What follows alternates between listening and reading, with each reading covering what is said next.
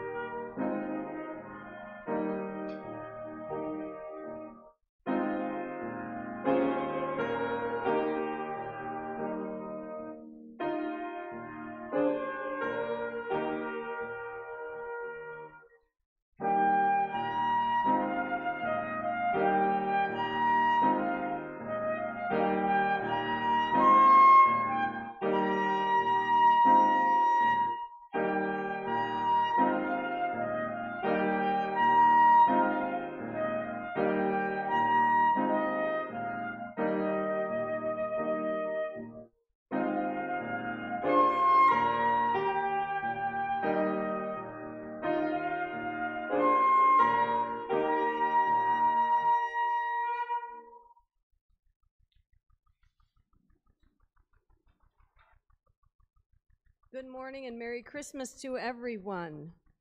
Will you please join me in the call to worship? The Spirit is coming to bless us all with a new song. Let our joy be complete. Gifts for the good of all poured out on all to teach us a new song. Love one another. Strangers and neighbors, foreigners and family will join in the new song no longer servants, but friends. Come, let our worship make a joyful noise, rejoicing in the friendship of God.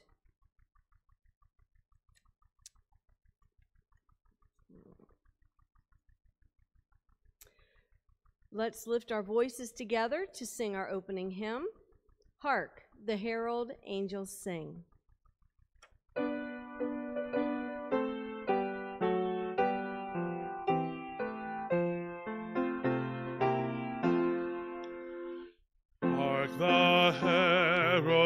Angels sing, Glory to the newborn King.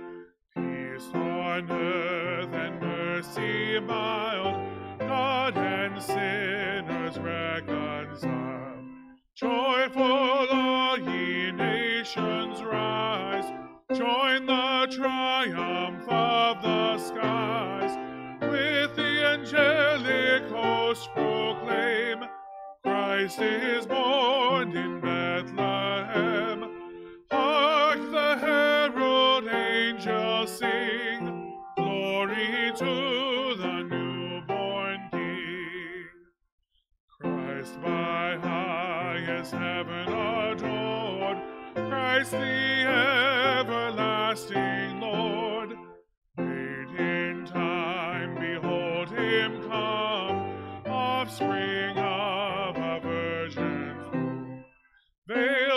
In flesh, the Godhead see.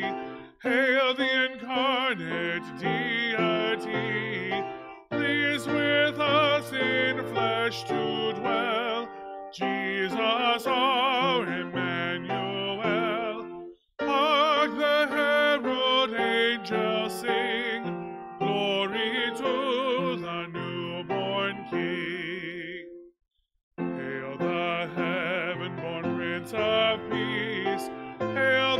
Sun of Righteousness. Light and life to all he brings, risen with healing in his wings. Mild he lays his glory by, born that we no more may die,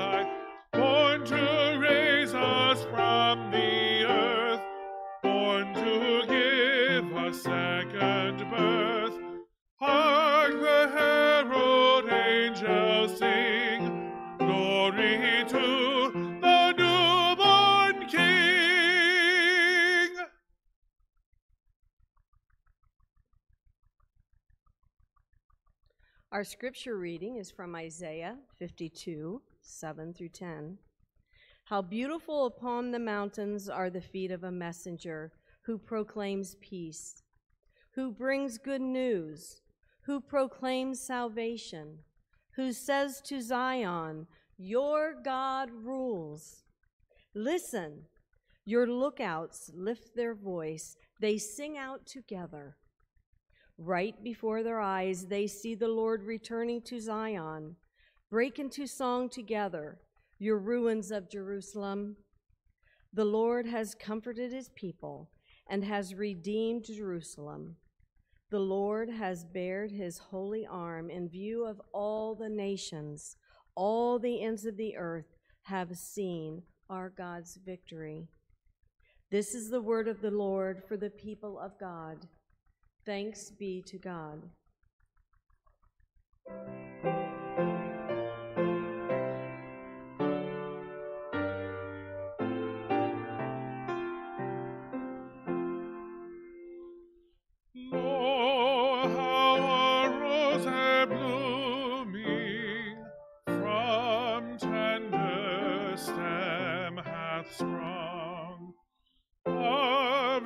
Jesse's lineage coming, as those of old have sung.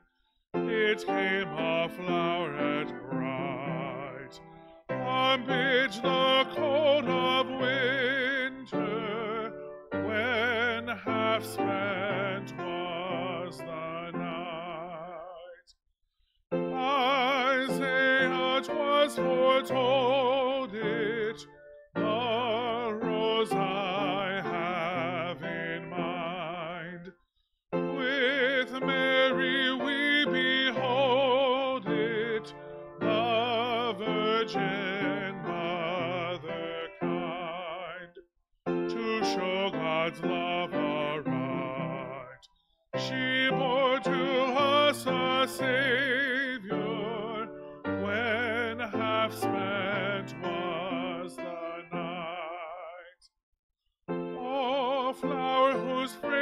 fragrance tender with sweetness fills the air, dispel in glorious splendor the darkness everywhere. True yet very God, from sin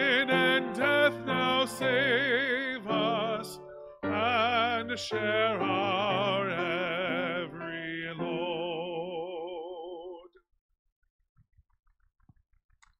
And now I'd like to invite our children to listen in closely as Miss Wendy shares our children's moments with us. Good morning, friends, and Merry Christmas. This is a day we've been waiting and preparing for. How exciting! I wanted to share today with you some of my very favorite Christmas things. And as you can see, I have my little Christmas tree here, and I just love the lights of Christmas. And so I've got my Christmas tree and Christmas lights, and I'm going to show you a few other things that I just totally love about Christmas. So, presents, of course, we all love presents. And then every Christmas time, I get to set up my snowmen on my fireplace. So I have a big collection of snowmen, and they're just really cool and cuddly. And I also started a collection of Christmas gnomes, and this guy's my favorite. But I have a few of those that I set up. And of course, the Christmas clothes. Now, I don't have an ugly sweater on, but I did bring my hat today. So I have my Christmas hat. And then, of course, my stocking. Um, I love to see what comes in it in the morning, so that's one of my favorite things. And then watching movies. I love watching movies. Now, I didn't bring any of my favorite Christmas foods because we ate them all. So um, I don't have any of those there. Those are my absolute favorite things at Christmas time. And I mean, I just wanted to share those because I just think everybody loves those things, right? But I think maybe we're missing a little something. And I just noticed it in the bottom of my bag. We kind of missed an important thing. I don't know if you can see him, but I brought the baby Jesus here, and this is from the Nativity set. And you noticed I brought baby Jesus out last, and that's because sometimes the decorations and the costumes and the music and movies and food, those are so fun and magical that sometimes they distract us from the real reason that we're celebrating, and that is the birth of Jesus and what it means to us. And and even though these are fun, magical things and we should enjoy them and enjoy time with our family and friends, we should remember that the most magical gift and the most magical thing that we're here to celebrate is Jesus' birth. So if you could please pray with me today. Dear Lord, we are so thankful for the magical gift of Jesus that you have given to us. And we are so grateful that he will become a sacrifice for us to save us so that we can live with you forever. Happy birthday, Jesus, and in your name we pray. Amen.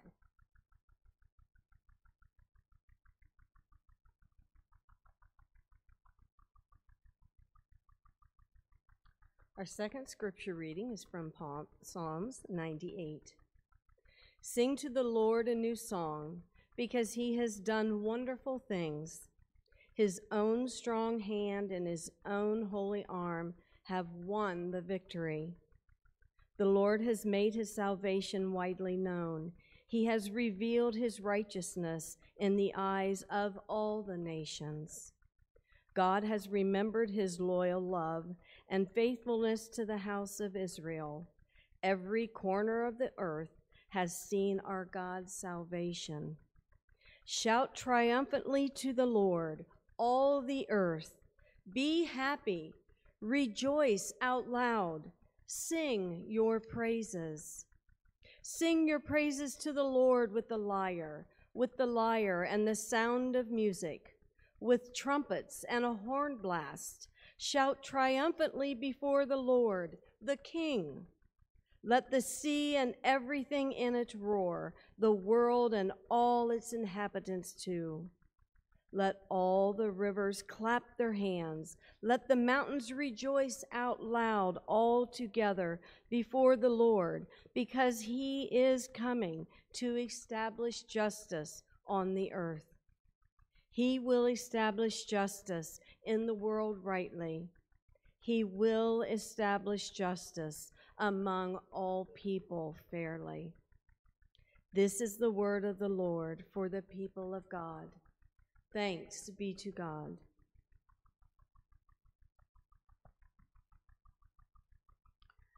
Well, again, good morning and Merry Christmas. I hope you are all having a very blessed and joyful Christmas morning.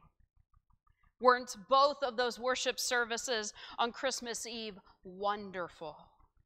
To see the joy of the children as they helped to tell the story of Jesus' birth was such a blessing. And then to stand from this point of view and to look out over your faces, illuminated by candlelight. And as we sang together the words of Silent Night, it was simply beyond description. So I want to say thank you to each and every person, to the care and the love that you have given through the Advent season, and for helping to make Christmas Eve such a memorable and joyful celebration.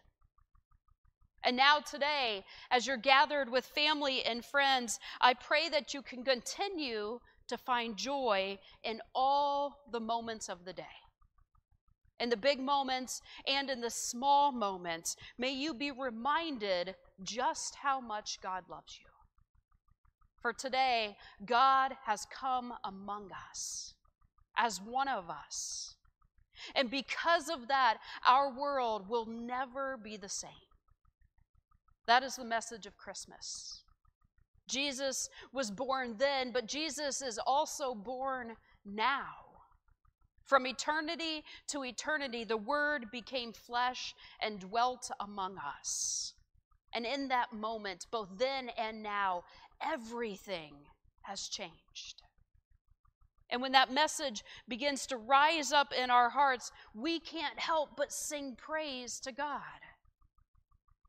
As we extinguished those candles last night, as we lifted our hearts in praise and sang the words of a beloved Christmas hymn, I was reminded of the call God has placed on our lives. Let me share with you again the words of that hymn. Joy to the world, the Lord is come. Let earth receive her King. Let every heart prepare him room, and heaven and nature sing. Joy to the World is one of those hymns that echoes through the air on Christmas Day. It names that overwhelming joy and celebration that we feel as we remember the gift of love and the gift of life that God gave to the world on this day. But did you know that the song Joy to the World was never actually intended as a Christmas song? In fact, it doesn't even mention the Nativity.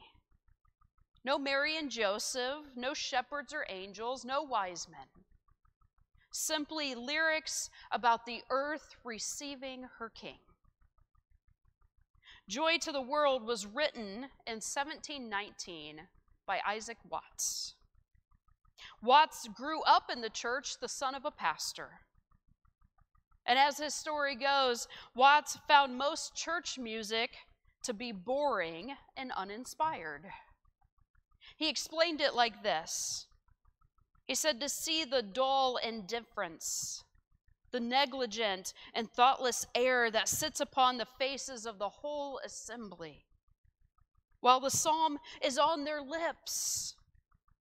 It might even tempt a charitable observer to suspect the, the fervency of their inward religion. Ouch. You see, young Watts would complain often to his father about the music of the church. And his father, growing tired of hearing his son complain, finally said to him, If you don't like it, write something better. And young Isaac said, Challenge accepted. He went on to write more than 750 hymns over his lifetime. And the majority of those hymns were shaped by the words of the Psalms. Joy to the world, in particular, conveys the message that we just heard from the 98th Psalm. I also learned that the lyrics of Joy to the World were originally sang to the tune of Come Thou Fount of Every Blessing. But a student composer wrote a melody intended to be much more joyous and upbeat. But perhaps even more extraordinary is how this hymn's lyrics trace the redemption story throughout history, weaving God's promise from the garden through Christ's second return. The words we sing echo our belief in God's redemptive work from generation to generation, and the promise that there is still redemption to come. You see, we are singing praise not just for the Christ of Christmas, but also for the Christ of our eternal salvation. Because Christ is come. And because of Christ's coming into our world as one of us, we are called to rejoice now and always. Now, I know It's easy to talk about joy on Christmas Day. But the words of the psalmist are clear God is worthy of our praise always. It may seem naive in a world of grief to choose to live in joy and celebration. It may seem foolish in a world of pain and heartache to sing in praise to God. It may seem cruel in a world of suffering to speak of light and love. But Jesus came. Jesus comes to bring joy into our grief. Jesus came and comes to bring light into our darkness, to bring singing into our mourning. And it is an act of healing and redemption to embrace that joy and that hope. The hope of Christmas. Friends, today we sing out with joy because the Lord has come. But it doesn't have to end here. It doesn't have to end at 11:59 tonight. Our joy, our hope rests in the promise that God is still with us. It rests in the promise that God's redemptive work is still happening in this world and in our lives right at this very moment. God is still bringing good news to the lost and forgotten. God is still bringing freedom to the captive. God is still bringing healing to the hurting and victory over death to the dying. And most of all, God is still bringing restoration to all of creation. Brothers and sisters, through the gift of Jesus Christ, God is with us. God is with us here and now and forevermore. And we have reason to celebrate, we have reason to praise. We have reason to live in hope, and we have reason to cry out with joy. For the Lord is here. Let us pray. Loving God, the whole of creation declares your glory. The whole of humankind is singing your praise. For today, heaven's door has been opened. A child has been born, your son given to us. Today, O oh God, sinner and creator are reconciled once more. So today we lift our hearts. We lift them in celebration and joy for the birth of our Savior. Mighty God, let us receive our King today and forevermore. Amen.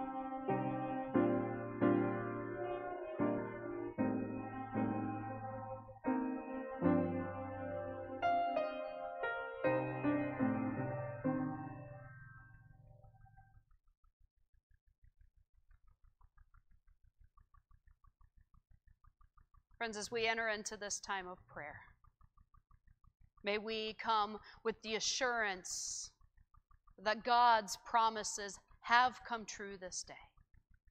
That truly God is with us. God hears the words of our mouths, the cries of our hearts. So may we come listening for God's voice. May we come knowing that God hears us. Will you join me in an attitude of prayer? God of hope and salvation, you are our light shining in the darkness. We give praise that you are the light of love that came into our world through the birth of Jesus Christ. God from God, light from light, true God from true God. Through your Son, you created everything that is seen and unseen. Father God, through your Son, you gave us life, and you have given us eternal life. Today, this is the good news. For those of us who have sometimes grown so familiar with this news, that it begins to sound like old news, we pray, oh God, that you would stir within our hearts, that you would renew our sense of wonder.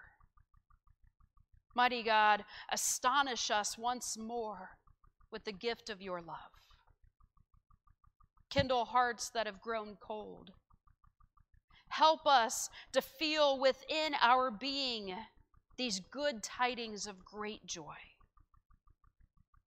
and help us to know without a shadow of doubt that a baby has been born to us this day. In the city of David, a Savior has been born.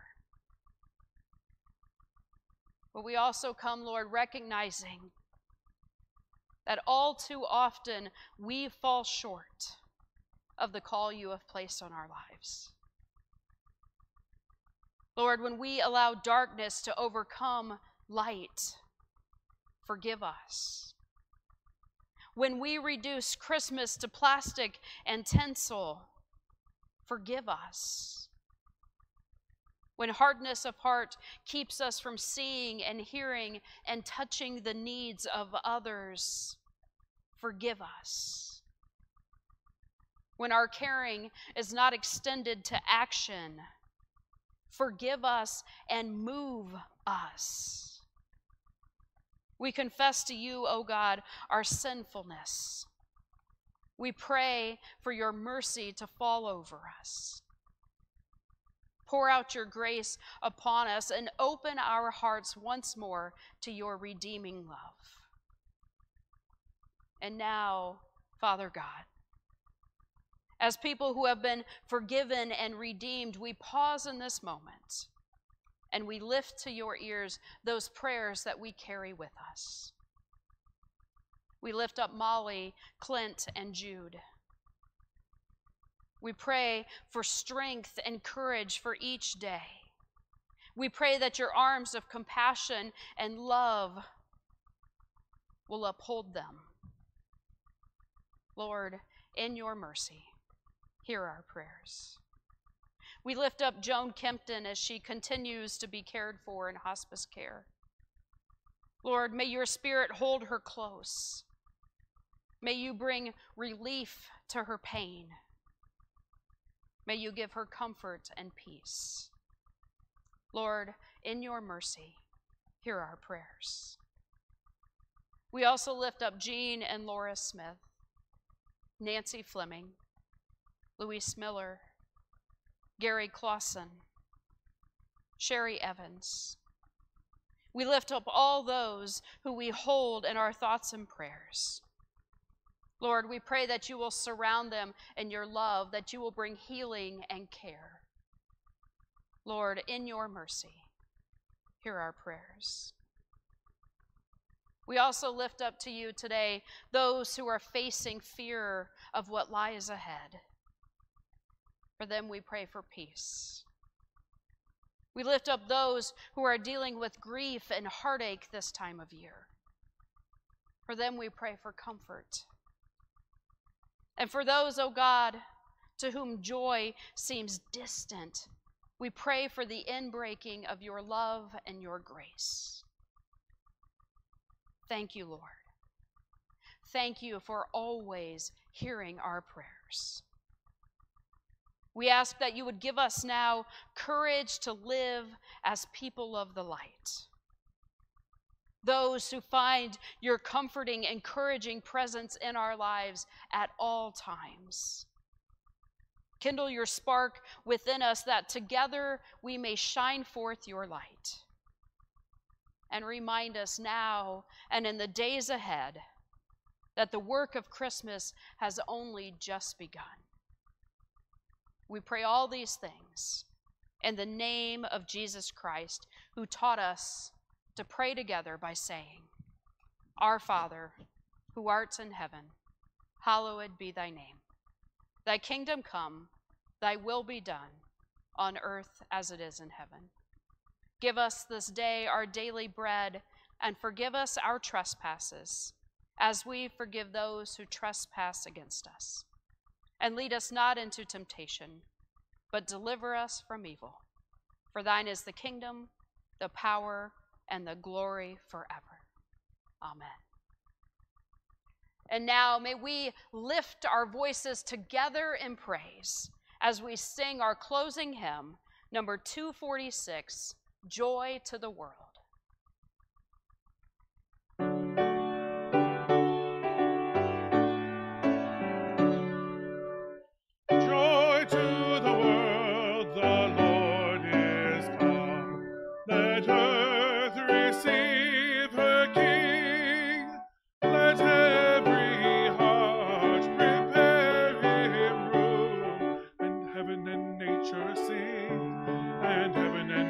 to see.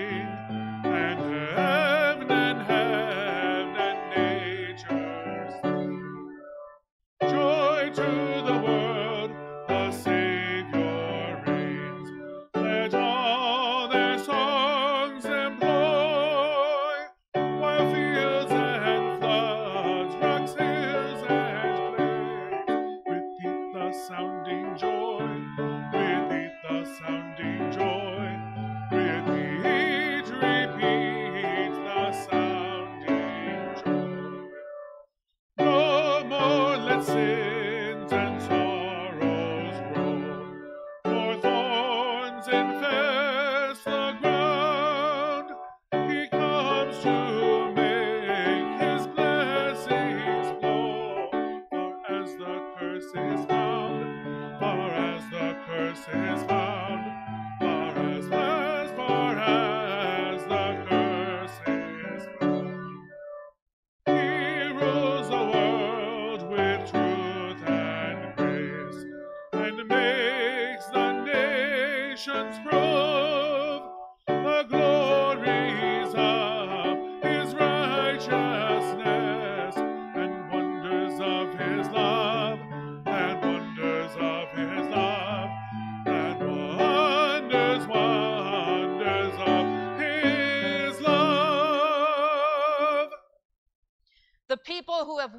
darkness have seen a great light.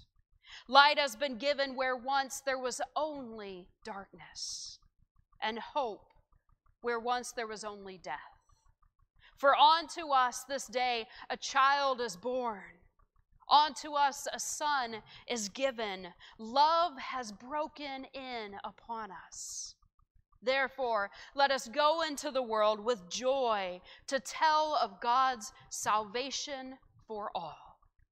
Thanks be to God, and Merry Christmas.